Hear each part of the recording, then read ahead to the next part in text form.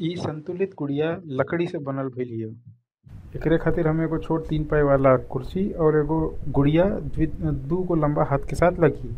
गुड़िया का दोनों हाथ का छोर तनी भारी हउवन अभी दोनों हाथ लेके एगो नोकीला लकड़ा के साइड में खाचा के अंदर एके घुसा दे। अभी दोनों हाथ नोकीला लकड़ा के अंदर घुसैले के बाद वो नोकीला हिस्सा तिपाई चौकी पे या टेबल पे रख लें। उ नोकीला हिस्सा के बाजू में देख सकेनी जा कि अपन गुड़िया अच्छा से झूलतिया और इ संतुलित भी है अब आप देख सकें जा कि एक अगर आप साइड से धक्का दें तो इ घूमे लगी।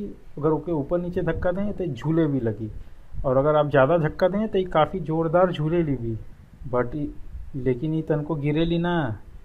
काहे कि ओकर सीजी एकदम नीचे हवे।